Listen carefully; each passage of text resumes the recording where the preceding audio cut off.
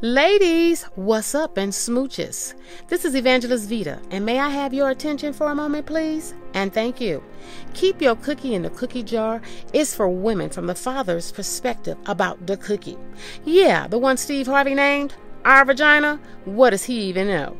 The Father desires to share with women to go back to the Garden of Eden before sin entered the world and learn what was the cookie designed for. Ladies, remember, if you take your cookie out the jar, then you risk the chance of having your cookie broken into crumbs. The Father can even put the broken pieces of your cookie back together again with it in His hands and make you whole again.